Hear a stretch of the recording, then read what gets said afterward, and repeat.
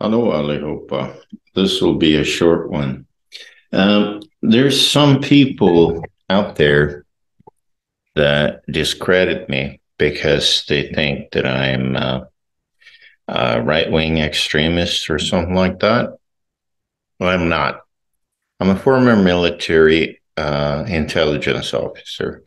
And uh, one of the things that I used is my ability to speak uh, languages without an accent. Um, right now, I'm speaking Californian because that comes natural to me because I worked there for eight years undercover and I had to learn exactly the Californian dialect.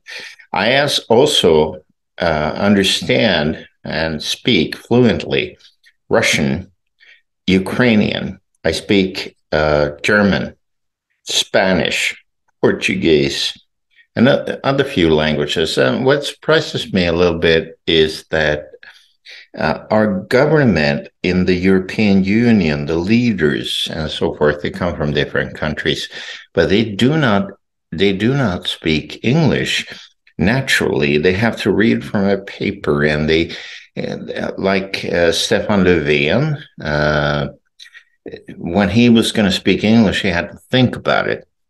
I don't have to think about it. But when you learn a language, that's an intelligent uh, thing to do. You speak fluently. Uh, but politicians seem to, especially when the French trying to speak English, it's so uh, weird. It's, it's incredibly bad.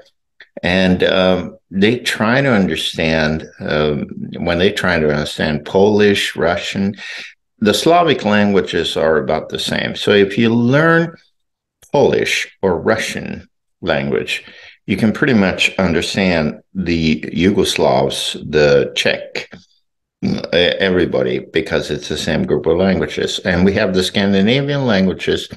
När danskarna säger någonting eh, så låter det lite konstigt, men man förstår det i alla fall. Och likheten går att dra med eh, andra språk. Uh, if you speak English, you, you have no problem understanding Rishi Sunak from the Great Britain area.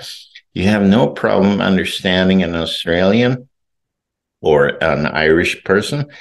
It's it's the same group of languages, and uh, of course, Swedish is very close. It's a Germanic type of language.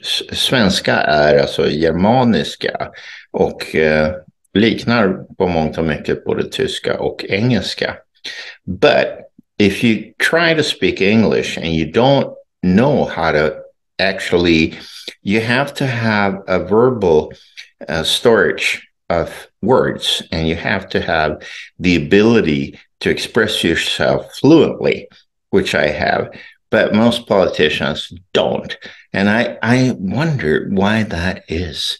I, I, I can't for my I mean these are it, uh, supposedly intelligent people, but they can't speak. Uh, if you listen to any of the European Union's leaders when they try to speak, the only exception is uh, perhaps uh, Christina Anderson from Alternative for Deutschland. Alternativ für Deutschland. Ich kann auch Deutsch sprechen, das ist kein Problem für mich. Aber das ist eine andere Frage. But why is it that politicians can't speak other languages? I wonder. Uh, answer the question in the comments, if you please. Thanks for listening. So we'll see you in this forum again soon. Bye.